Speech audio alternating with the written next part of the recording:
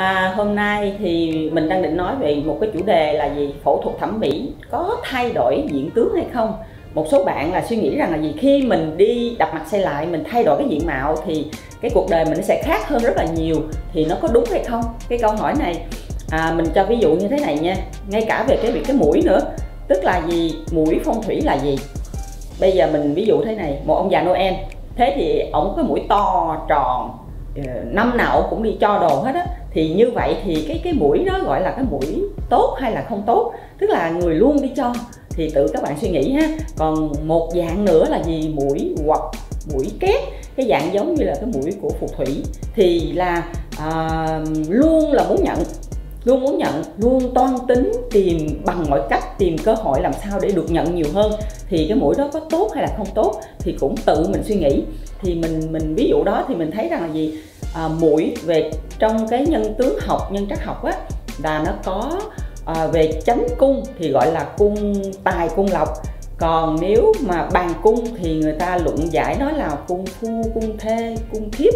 Thì à, ngay cả mũi thì trong diện tướng nó có một cái vai trò ảnh hưởng rất là nhiều mặt mọi mặt trong cái diện tướng học. Nó có một cái điều thế này mình đừng nên nghĩ rằng nhân tướng học đó là một cái bộ môn về mê tín. Thật sự ra nhân tướng học đó là một cái khoa học thực nghiệm khoa học thực nghiệm. À, do cái cách sử dụng của mình mình mình sử dụng như thế nào nó sẽ trở thành khoa học hay là trở thành mê tín? Tức là giống như tu vậy nếu như mình sử dụng và mình suy nghĩ như thế nào thì nó sẽ theo cái chiều hướng là triết học hay là chiều hướng mê tín dị đoan. Cho nên là gì? À, trong cái nhân tướng học á, là nó có phải có cái người luận giải được nó phải có một cái óc quan sát một cái nghệ thuật quan sát về cái hình tướng về thanh tướng về sắc tướng sau đó người ta mới luận giải người ta dùng cái tư duy người ta phân tích luận giải một cách rất là khoa học thì mới ra được à, được cái kết quả. Cho nên là cái thần khí ở trong cái nhân tướng học rất là quan trọng.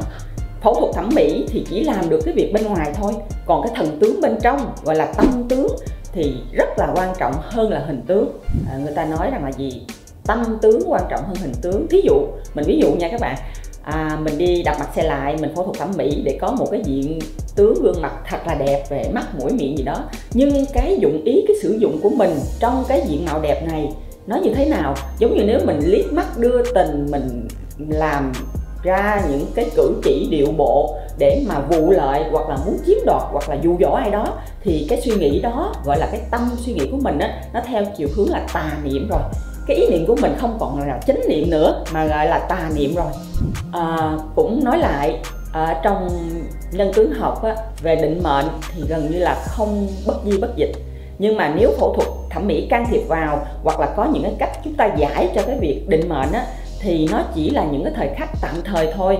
Nhưng nếu như mình muốn nó đẹp bền đẹp lâu thì mình phải gọi là phải uh, tu tâm dưỡng tánh á, gọi là phải làm phúc và phải tạo duyên lành mình ví dụ nha.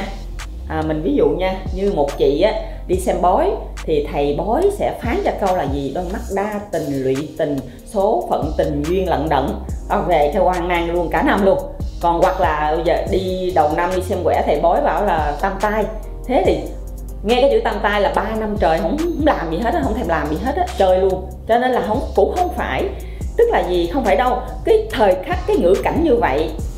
Nhưng mà nếu như à, tùy theo cái vượng suy của cái âm đức của mình hoặc là tùy theo cái phúc đức của mình à, đang sắp sửa làm đây thì nó sẽ cải biến được nó sẽ thay đổi được và nó sẽ mất đi.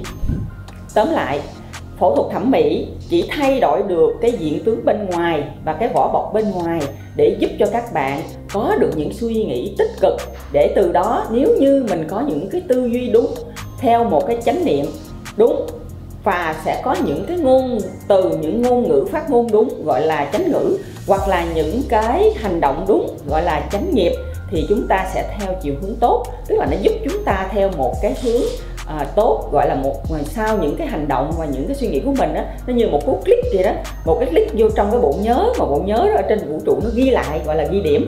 À nếu như chúng ta làm những hành động tốt những suy nghĩ tốt thì nó sẽ thay đổi được từ diện tướng nó sẽ thay đổi được cái tâm tướng và cái thần khí của mình à, cái lõi năng lượng của mình nó sẽ theo cái chiều hướng à, ghi điểm ở trên à, vũ trụ.